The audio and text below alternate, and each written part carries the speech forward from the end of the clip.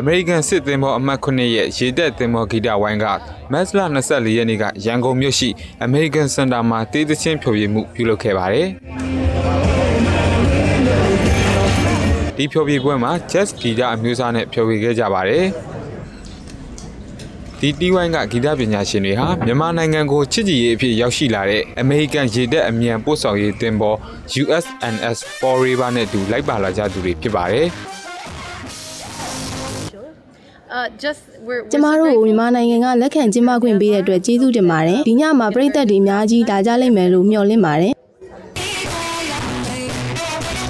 ဒီဖျော်ဖြေပွဲကိုတော့နှစ်နာရီနီးပါးကြာဖျော်ဖြေခဲ့ပြီးလူအများလာရောက်ကြည့်ရှုခဲ့ကြပါတယ်။